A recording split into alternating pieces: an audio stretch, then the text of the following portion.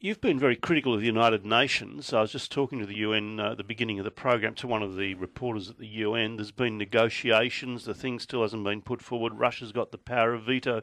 Do you stand by that? Do you feel the United Nations has been uh, spineless? I think over a number of years that people have been concerned about the lack of determination and action from United Nations, and here was a clear example where we've had uh, an international airline go down in disputed territory.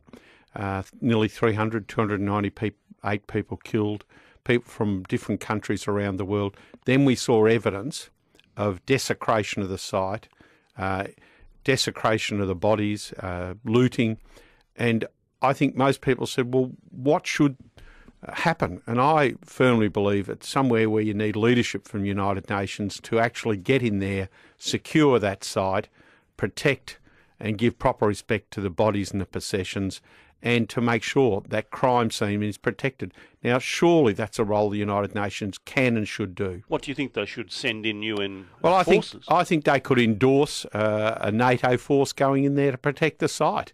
I mean, I think it is it, it just turns my stomach to see footage of people walking through that area, you know, uh, smoking with guns over their shoulders and um, picking up bits and pieces and looting what is a crime scene and showing total and utter disrespect to the dead dead people and their possessions.